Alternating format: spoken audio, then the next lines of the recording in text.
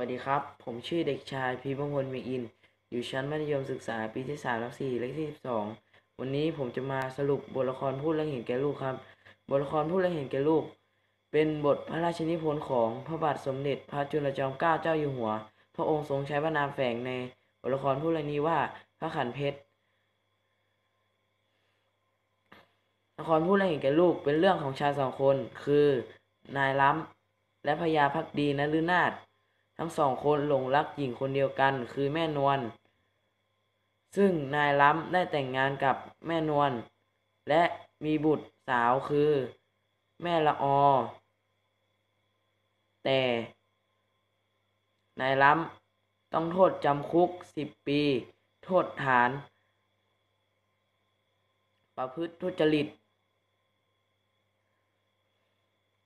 ต่อมาแม่นวลได้เสียชีวิตลง ขณะที่แม่ละออ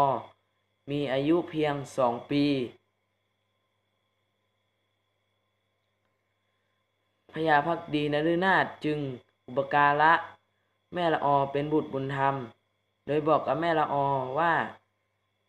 บิดามารดาที่ที่เสียชีวิตไปเป็นคนดี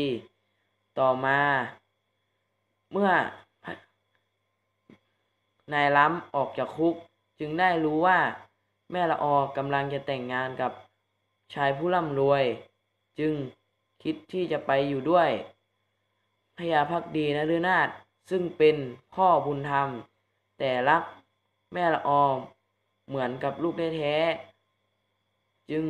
ไม่อยากให้แม่ละออรู้ว่านายล้ำเป็นพ่อของตน ต่อมาเมื่อ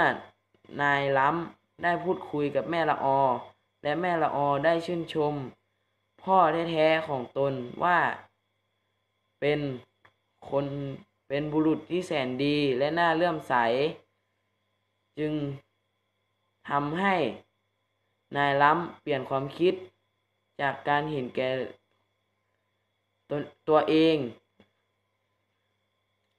เป็นการเห็นแก่ลูก และนายล้ำไม่อาจแสดง ตัวว่าตนเป็นพ่อของแม่ละออขอบคุณครับ